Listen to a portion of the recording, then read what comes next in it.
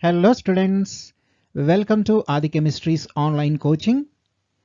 Today I will provide a brief presentation on Zaitsev's rule, otherwise called as Saytzeff's rule.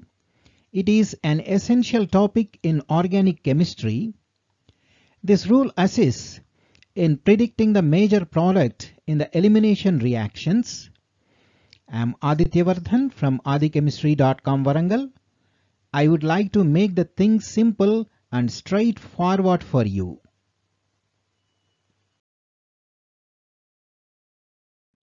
According to Zaitsev's rule, the more substituted alkene is formed as the major product in elimination reactions.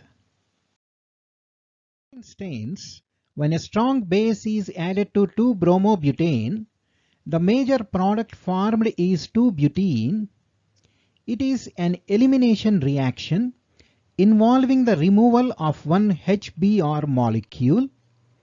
The major product is more substituted alkene and is referred to as Zaitsev's product, while the minor product is a less substituted alkene and is referred to as Hofmann's product. In this case, 1-butene is the minor product.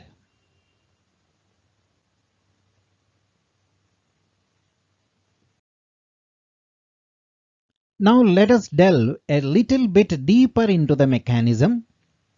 Consider the structure of 2-bromobutane. The carbon directly attached to the leaving group bromide is referred to as an alpha carbon, while the carbons connected to it are denoted as beta carbons. In this case, there are two beta carbons the beta carbon on the left hand side is attached to fewer number of hydrogens when compared to that on the right hand side. When a base is introduced, it can abstract hydrogens from either of the beta carbons.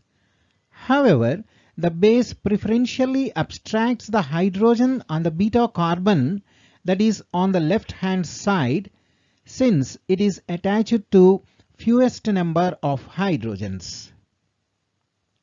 This preference results in the formation of more substituted alkene as a major elimination product. On the other hand, the abstraction of hydrogen from the other beta carbon leads to the less substituted product.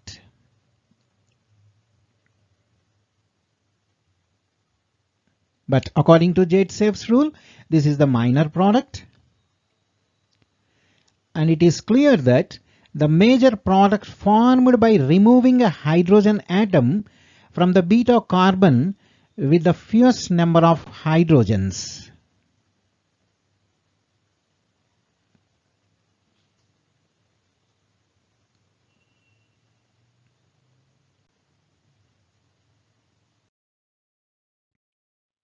Therefore, we can restate Zaitsev's rule as follows.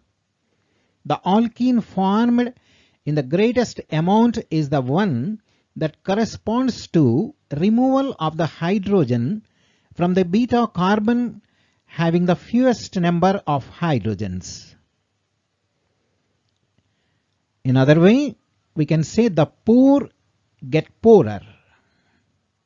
So the carbon with the poorer number of hydrogens tend to lose hydrogens.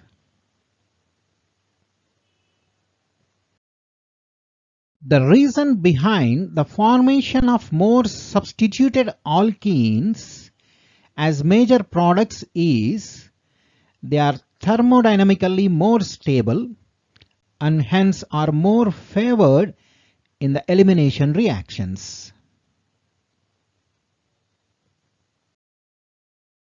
And remember that this is an empirical rule.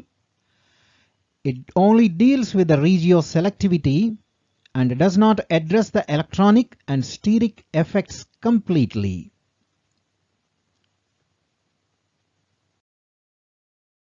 The rule fails in the case of bulky alkyl substituents or bulky bases or substituents other than alkyl groups.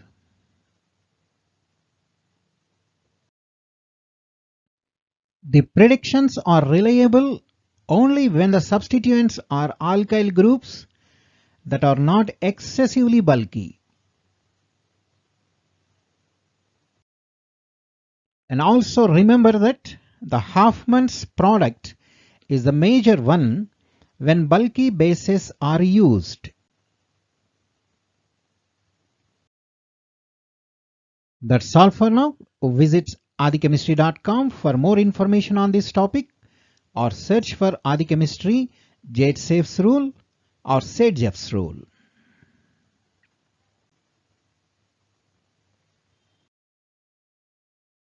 And don't forget to like, share and subscribe. You can also find links to worksheets and other study material in the description section.